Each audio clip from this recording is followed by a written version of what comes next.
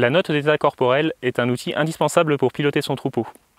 La connaissance de la note d'état corporel peut aider à mieux piloter l'alimentation du troupeau, à mieux gérer les traitements antiparasitaires et de composer les lots de lutte, et ainsi d'améliorer la productivité du troupeau.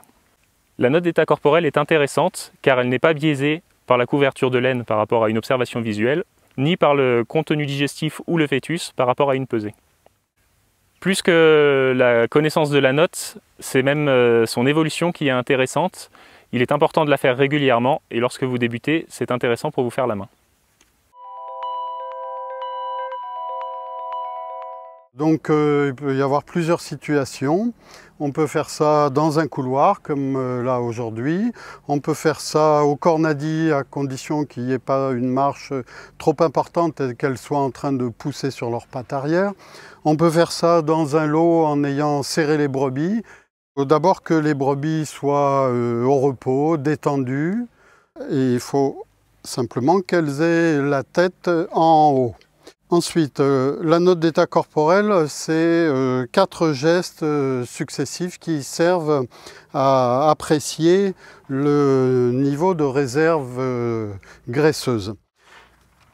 Sur le dessus de la colonne vertébrale, ce qu'on appelle les apophyses épineuses.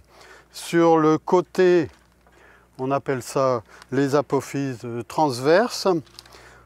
Quand euh, on engage les doigts en dessous, on palpe le muscle sous-lombaire et entre les apophyses épineuses, le dessus de la colonne vertébrale et le côté, on apprécie la forme de la noix.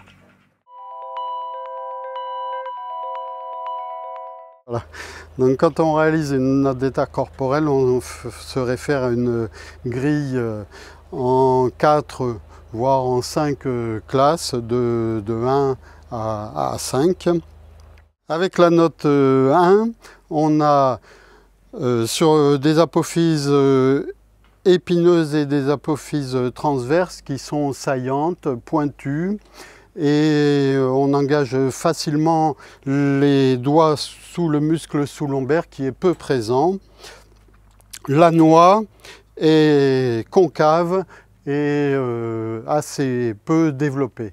La note 2, on a des apophyses épineuses et transverses sur lesquelles on ressent une sensation d'amorti. On peut, en appuyant fort, engager les doigts entre les os des vertèbres. La noix est plutôt rectiligne ou très légèrement concave. Une note 3, euh, qui traduit une couverture de graisse euh, plus importante, une sensation euh, très forte d'amorti et de rondeur au niveau des apophyses transverses et épineuses, une noix convexe.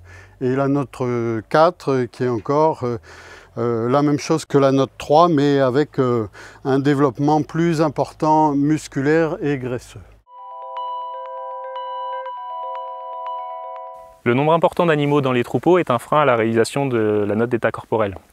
Vous n'êtes pas obligé d'évaluer l'état corporel de tous les animaux et vous pouvez profiter de chantiers que vous réalisez pour le faire, c'est-à-dire euh, la mise en lot, euh, des constats de gestation ou alors des chantiers de marquage. Pour avoir un échantillon représentatif, les préconisations conseillent de noter 10% des animaux d'un lot ou euh, au moins 10 animaux par catégorie. Par ces catégories, on entend d'avoir des animaux de toutes les classes d'âge, donc des jeunes de 2 ans et moins, des adultes et des vieilles de 6 ans et plus.